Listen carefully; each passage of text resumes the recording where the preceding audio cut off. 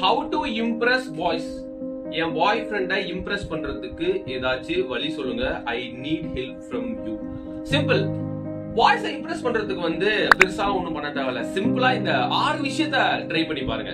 ஒரு பையனுக்கு ஒரு பொண்ணு கிட்ட பிடிச்ச முதல் விஷயம் அந்த பொண்ணு கேரிங்கா இருக்குது நேர நேரத்துக்கு சாப்பிட்டியான்னு கேக்குறது. என்ன சாப்பிட்டேன்னு கேட்கறது பிளஸ் அந்த பையன் சோகமா இருந்தா ஏன் சோகமா இருக்க? இந்த மாதிரி பர்சனலான விஷயத்தை கேளுங்க. ஏன்னா ஒரு பையன் கிட்ட அவ்வளவு பர்சனலா பேசுறதுக்கு அவங்க அம்மா தவறையோ அப்பா தவறையோ வேற யாரும் இல்ல. அப்படிங்கும்போது அம்மா அப்பாவுக்கு அடுத்தபடியா ஒரு பொண்ணு அவன் மேல கேரிங்கா சாப்பிட்டியாடா என்னடா பண்ற? நீ எப்பவும் போல இல்லையே அப்படின்ற மாதிரி எல்லாம் பேசும்போது அவன் மனசுல ஒரு விஷயம் தோணும். பரவாயில்லையே இந்த பொண்ணு நம்ம மேல இவ்வளவு தூரம் கேரிங்கா இருக்கு. பசங்க வந்து எப்பவுமே வெளியே வந்து கொஞ்சம் ஹார்ஷா கொஞ்சம் முரட்டுத்தனமா இருந்தாலும் மனசுக்குள்ள குழந்தை. அந்த பசங்ககிட்ட ஒரே ஒரு தடவை பாசத்தோட என்னடா ஆச்சு? ஏன் அப்படி இருக்கு? இன்னைக்கு கோபமா இருக்க? இன்னைக்கு சோகமா இருக்க? என்னடா ஆச்சு உனக்கு? அப்படின்னு கேட்டு பாருங்க. டெஃபினெட்லி ஐ டேம் ஷுர் அந்த பையன் இம்ப்ரெஸ் ஆவாங்க. ரெஸ்பான்ஸ் பண்ணுங்க. அந்த பையன் பண்ற மெசேஜுக்கு காலுக்கு எல்லாம் டக்குனு ரெஸ்பான்ஸ் பண்ணி பாருங்க. டெஃபினெட்லி அந்த பையன் சந்தோஷப்படுவான் இம்ப்ரெஸ் ஆகும் அப்படி ஒருவேளை உங்களால ரெஸ்பான்ஸ் பண்ண முடியல. நீங்க பிஸியா இருந்தீங்கன்னா அந்த பையன் மெசேஜ் கால் பண்ணதுக்கு அப்புறமா நீங்க ஃப்ரீயா இருக்கப்போ அதை பார்த்துட்டு அதுக்கப்புறமா கால் பண்ணி பேசுங்க. அதுக்கப்புறமா மெசேஜ் பண்ணி பேசுங்க. ஏன்னா ஒரு பையன் எதை அதிகமா எதிர்பார்ப்பானா ஒரு பொண்ணு கிட்ட இருந்து வர ரெஸ்பான்ஸ் தான் அவன் மனசுல டக்குன்னு நிக்கும். எந்த பொண்ணுமே நம்ம கிட்ட இப்படி இருந்தது கிடையாது. ஆனா இந்த பொண்ணு நம்ம இவ்வளவு பாசமா இருக்கு. கால் பண்ணுது மெசேஜ் பண்ணுது எல்லாம் பண்ணுது அப்படின்னு நினைக்கும் போது நீங்க உங்க தனி இடத்துல உட்காருவீங்க. புரியும் நினைக்கிறேன். ஸோ ஒரு பையனை வந்து மெயினா இம்ப்ரெஸ் பண்ணோம் அப்படின்னா அதுக்கு முக்கியமான விஷயம் ரெஸ்பான்ஸ் நான் சொல்லுவேன் ஒரு பையன் மேல பொசசிவா இருந்து பாருங்களேன். அந்த பையன் அடிக்கடி நீ யார்கிட்ட பேசுற? வேற யார்கிட்டயும் பேசல இல்ல யார்கிட்ட புதுசா பேசினா யார்கிட்ட பேசுறேன்னு கோவப்பட்டு பாருங்க. அந்த பையனுக்கு ரொம்ப பிடிக்கும். ஏன்னா ஒரு பையன் வந்து ஒரு பொண்ணு அவன் மேல உரிமையோட இருந்தா அவன் மேல உரிமையோட கோவப்பட்டா ரொம்ப பிடிக்கும்.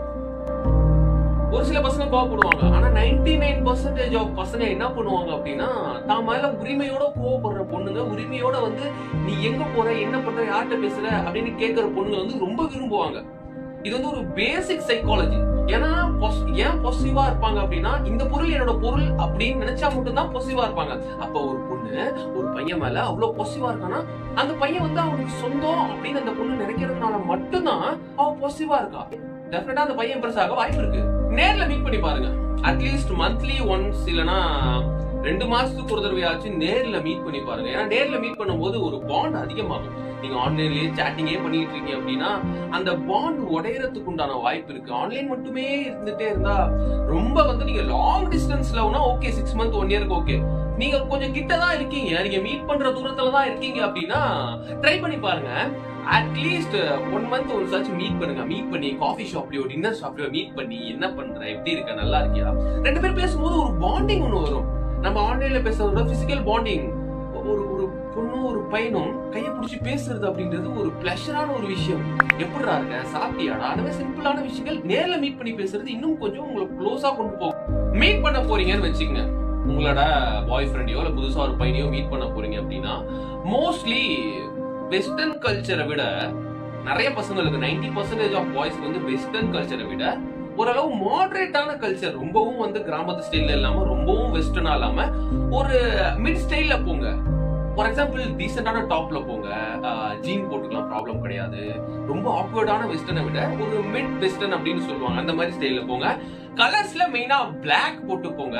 டார்க் ப்ளூ பண்ணுவாங்க white okay pink okay so இந்த நாலு கலர்ஸ் மோஸ்ட்லி ட்ரை பண்ணுங்க. ஏன்னா பசங்களுக்கு வந்து 90% பர்சன்டேஜ் ஆஃப் பாய்ஸுக்கு பிடிச்ச colour first colour black dark blue pink purple purple கூட யூஸ் பண்ணலாம். ஸோ இந்த மாதிரி கலர்லாம் ரொம்ப பிடிக்கும். ஸோ இதெல்லாம் ட்ரை பண்ணி பாருங்க.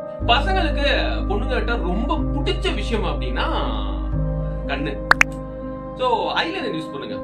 நேரில் பார்க்க போனாலும் சரி இல்லை நீங்கள் டிபியாக வைக்கிறீங்க வாட்ஸ்அப்பில் இல்லை இன்ஸ்டாவில் ஏதாச்சும் ஃபோட்டோ அப்லோட் பண்ணுறீங்க அவங்கள டேக் பண்ணுறீங்க இல்லை நீங்கள் நேரில் அவங்கள மீட் பண்ண போயிருந்தாலும் ஒரு டச்சப் மட்டும் போதுங்க. ரொம்ப மேக்கப்லாம் பண்ணிடவே பண்ணிடாதீங்க. பசங்களுக்கு ரொம்ப மேக்கப் பண்ணுற பொண்ணுங்களை பிடிக்காது ஆர்டிஃபிஷியல்னு நினச்சிப்பாங்க. ஐலைனர் போதும். ஐலைனர் போடுங்க. ஏன்னா கண்ணு தாங்க பசங்கள்கிட்ட பேசும். கண்ணை பார்த்தா பசங்க இம்ப்ரெஸ் ஆவாங்க ஸோ ஐலைனர் போட்டு போங்க. பிளஸ் கொஞ்சம் டச்சப் மேக்கப் வந்து ஏன்னா நிறைய பொண்ணுங்களுக்கு கான்ஃபிடென்ட்டே மேக்கப் தான். ஸோ வந்து ஓரளவுக்கு டச்சப் மேக்கப் மாதிரி போட்டு போங்க.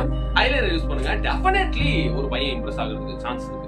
உங்களோட ப்ராப்ளம கமெண்ட்ல சொல்லுங்க. அடுத்த வீடியோ உங்களுக்காக நான் போஸ்ட் பண்றேன்.